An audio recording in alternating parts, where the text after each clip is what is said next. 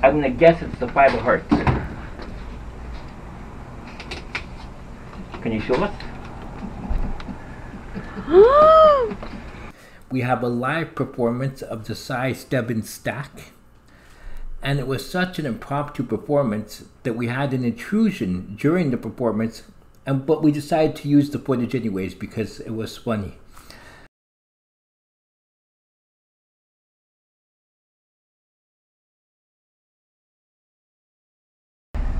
Pretty random deck, agreed? Yep. Okay. So what I want you to do is something impossible. I want you to put these cards behind your back, Okay. like this. While they're behind your back, I want you to cut the cards. Just cut them like that. When they are behind? Yeah, when they're behind your back. Mhm. After you cut them once or twice, just grab the top card Mhm. and give me the rest of the deck. That's all you're gonna do. Don't even look at the top card though. Okay. Okay? So put those behind your back.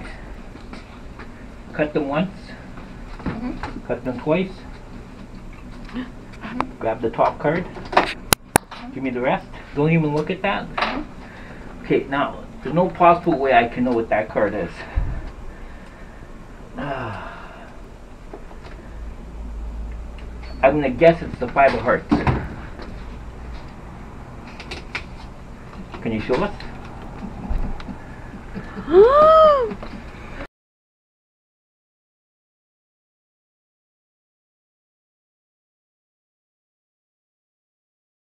Okay, the size, step, Stebbins stack. You see it starts with the ace of clubs here. Now, this order is called chased order. Chased is an acronym for clubs. Heart, spades, diamond.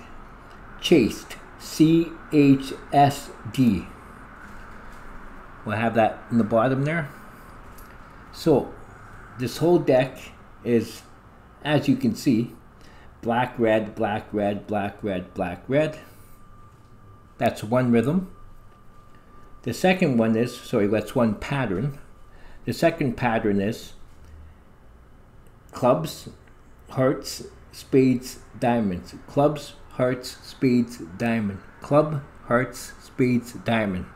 Throughout the whole deck.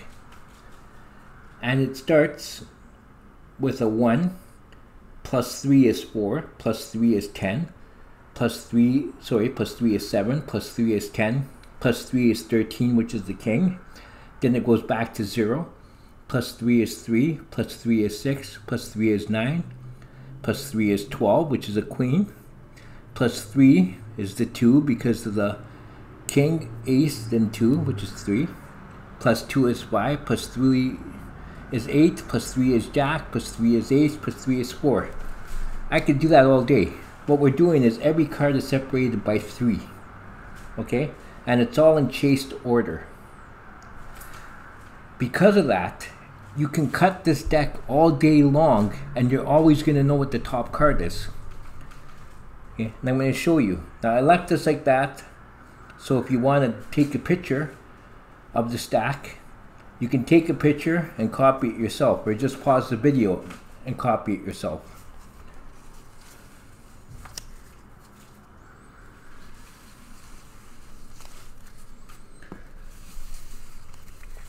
So here's what we did during the performance.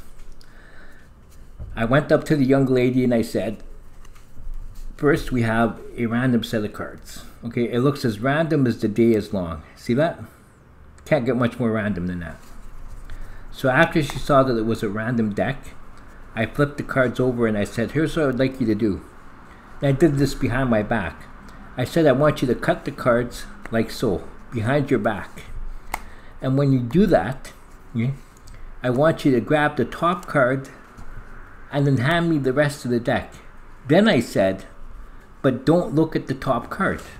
I said, that way you won't even know what it is. So, when she gave me the deck, all I did was glance at the bottom card, which was a six of diamonds. Now, I know because of chased order, after diamonds comes clubs, because it's clubs, hearts, spades, diamonds. The D is last. It starts with C again. I know it's the clubs. So I know in the Si Stebbins stack, everything is separated by 3. So I know the next card is going to be a 9 of clubs. That means the card that she took off had to be the 9 of clubs. You see that way that works?